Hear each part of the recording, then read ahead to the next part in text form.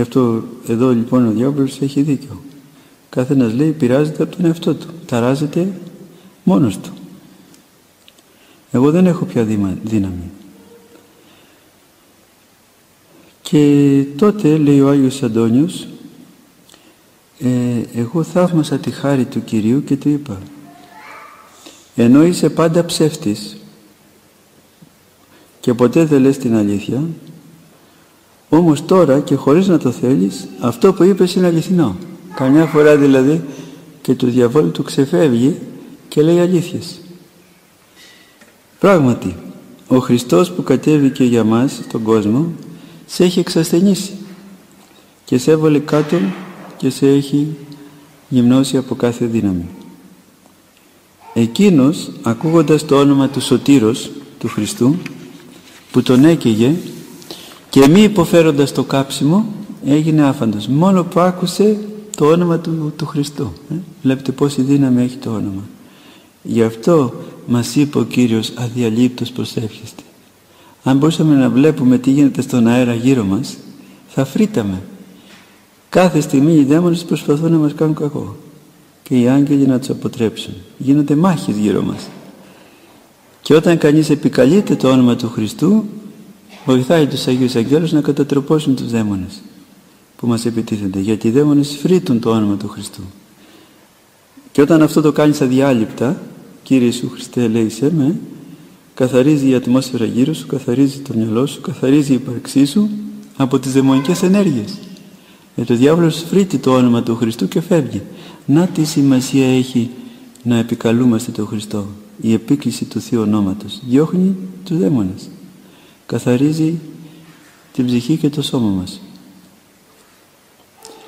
Κατακαίει τους δαίμονες. Το φως του Χριστού. Το όνομα του Χριστού και όλους τους ασεβείς και όχι μόνο τους δαίμονες και τους ασεβείς ανθρώπους όταν κάποιος σας επιτίθεται αν εκείνη τη στιγμή πείτε το όνομα του Χριστού ξέρετε τα μαζεύει και φεύγει δοκιμάστε και θα δείτε είναι θυμωμένος και θέλει να σας τυπήσει θέλει να σας βρει αν πεις εσύ δυνατά Κύριε Ιησού Χριστέ λέει σε με θα τα μαζέψει και θα φύγει θα φύγει το πονηρό πνεύμα δηλαδή που τον κυριεύει και αυτόν τον κακομύρι και θα σε αφήσει ήσυχο. Στη Θεία Μετάληψη τι λέμε; Άνθραξ γαρεστή τους αναξίους φλέγων. Ε; Φλέγει τους αναξίους. Το πύρ της θεότητος που υπάρχει μέσα στα τίμια δώρα. Φλέγει και τους δαίμονες. Φλέγει και τα όργανα των δαιμόνων. Γι' αυτό δεν είναι δικαιολογημένο να φοβάται ο χριστιανός αφού έχει όπλα παντοδύναμα. Ατομική βόμβα θα λέγαμε και πολύ περισσότερο είναι το όνομα του Χριστού. Και γάρο ο Θεός ημών πυρ καταναλύσκον λέει πάλι στην προς Εβραίος του 12ο κεφάλαιο 21ο στίχο. Και στην έξοδο στο 24ο κεφάλαιο λέει το δε είδος της δόξης Κυρίου οσί πυρ φλέγον επί της κορυφής του όρου του όρους το είδος της δόξης του Κυρίου σαν φωτιά που, φλέγεται, που καταφλέγει στην κορυφή του όρους. Έτσι είναι η δόξα του Θεού, σαν φωτιά. Και έχουμε πει ότι στην Δευτέρα παρουσία, όταν θα έρθει ο Κύριος πάλι, για να κρίνει ζώντας και νεκρούς, ποια θα είναι η κρίση. Η κρίση θα είναι ακριβώς η, η όρασης του Θεού, η οποία για μένα τους δικαίους, τους μετανοημένους, αυτούς που αγάπησαν τον Χριστό όσο ζούσαν εδώ στη γη θα είναι αυτή η όρασης ως φως γλυκύτατο.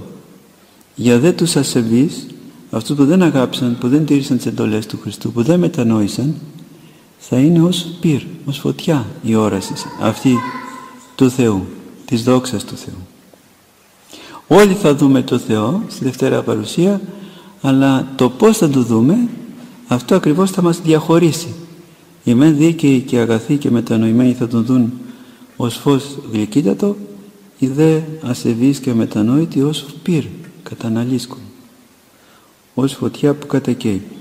Και αυτό είναι η κόλαση. Τι είναι δηλαδή η κόλαση, το να μην αγαπάς τον Θεό. Οπότε η αγάπη του Θεού που έρχεται σε σένα είναι φωτιά. Πάρτε το και στα ανθρώπινα ένας άνθρωπος ο οποίος σε ευεργετεί συνεχώς και εσύ συνεχώς τον φτύνεις, τον καταπατείς, τον κατασυκοφαντείς, τον εχθρεύεσαι, μόνο που τον βλέπεις δεν είναι αυτός κόλαση για σένα. Ενώ εκείνος σου φέρεται τόσο καλά, εσύ του φέρεσαι τόσο άσπλαχνα.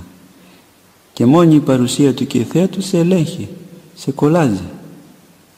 Ε, έτσι θα είναι και η όραση του Χριστού για τους ασεβείς. Ενώ ο Χριστός τους έχει δώσει τα πάντα και τους δίνει τα πάντα, αυτοί επιμένουν να τον φτύνουν, να τον χτυπούν, να επιτίθενται εναντίον του. Αλλά βέβαια είναι σαν και αυτόν που χτυπάει τα καρφιά με γυμνά πόδια, όπως είπε ο Κύριος στον Σάβλο. Είναι σκληρό πράγμα αυτό που κάνεις. Και αυτό που κάνουν οι άθεοι είναι σκληρό πράγμα. Για τους ίδιους είναι σκληρό. Ο Θεός δεν παθαίνει τίποτα. Κλωτσούν τα καρφιά με γυμνά πόδια και οι ίδιοι πληγώνονται και βασανίζονται.